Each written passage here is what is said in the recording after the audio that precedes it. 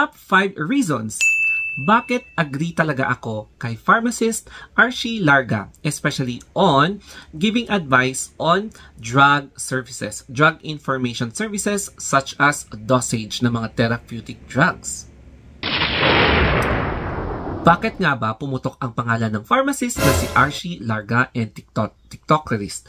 It's because yung discussion niya about Beroca and pertaining sa kanyang dosage in which kapag nag-take ka ng ganito, one tablet dissolved in one glass of water, hindi mo na kailangang mag-take pa ng vitamin B complex tablet. Ayun. And then, merong nag-challenge tweet sa kanya na sabi, aren't you allowed to uh, give medical advice? Kasi trabaho po yun ng mga doktor. Yun. So, ayun na, nagsanga-sanga na yung issue.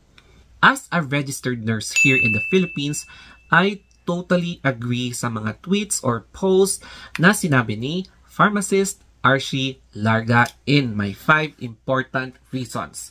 Kaya, simulan na natin ang pinaka-first. And ito, yung kanyang pinag-aralan for 4 years.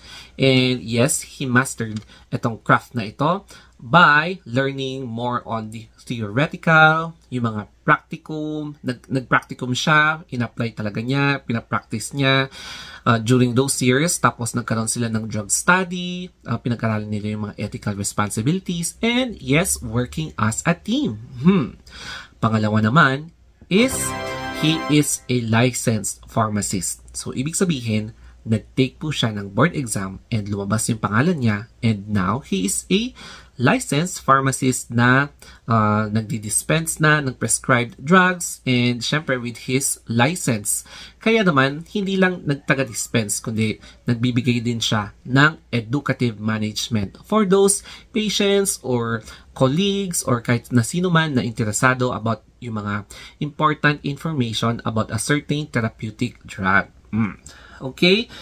Number three is, uh, alam nyo ba na giving medical advice is not only restricted to medical doctors, o di ba? Kasi, di ba, if you're considering medical, general na yan, team na yan. Andyan yung doctors, yung nurses, yung OT, yung PT, OT o occupational therapist, physical therapist, radiologist, ito yung mga nag x-ray, yung lab tech, yun, yung tagakuha ng dugo dun sa laboratory, dietitian, syempre, yung mga nurse attendant, yung kasama natin sa hospital, and yung mga transport aid sa hospital na syempre they are working as a team they are also capable of providing medical information or advice para sa mga patient, colleagues, and kahit na sino man. So, hindi lang siya restricted sa mga doctors. Okay?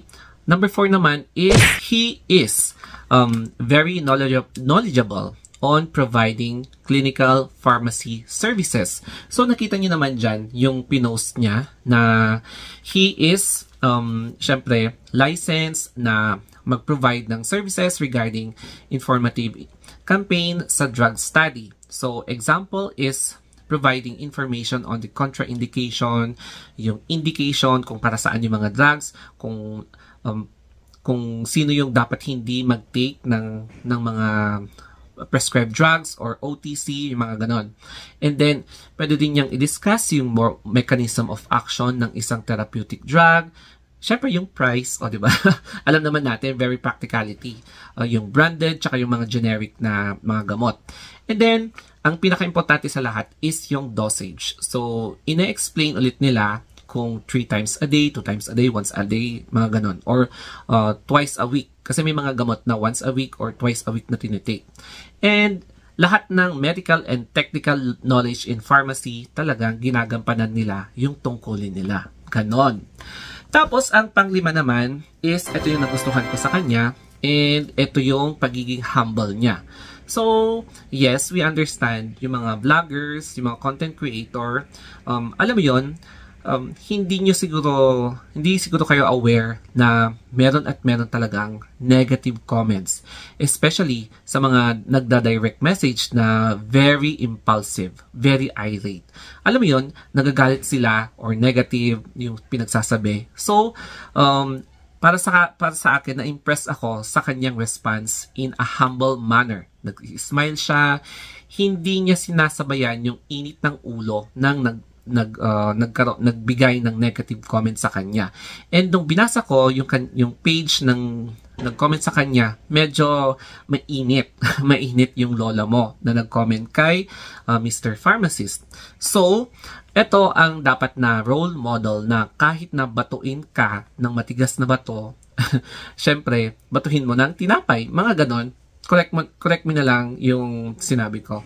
So, be always humble kasi um, pinapakita mo talaga na you are handling all kinds of pressure na hindi mo sinasabayan ng init ng ulo para hindi pa puputok yung problema or issue or drama. Mm. Ayan, so that's my reaction. And yes, go lang ng go. Para sa akin din, uh, nakaka-receive din ako ng negative comments. Pero syempre, alangan naman na sabayan ko pa. So hayaan mo na lang. And if very consistent or persistent na aggressive ang isang nagko-comment sa'yo, na feeling mo naharas ka na, syempre, the best thing to do is ignore then block, block, block. Di ba? Para hindi ka na, hindi ka na uh, magkaroon pa ng uh, sakit sa ulo. That's it guys. I hope na nakarelate din kayo sa sinabi ko and sana may natutunan din kayo sa video na ito. And that's it guys. Always remember to stay happy. Hmm. Okay, so, mwah.